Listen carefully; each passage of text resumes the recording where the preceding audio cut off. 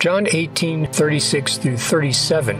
Jesus answered, My kingdom is not of this world. If my kingdom were of this world, my servants would have been fighting that I may not be delivered over to the Jews. But my kingdom is not from this world. Then Pilate said to him, Are you a king? Jesus answered, You say that I am a king. For this purpose I was born, and for this purpose I have come to the world to bear witness to the truth. Everyone who is of the truth listens to my voice.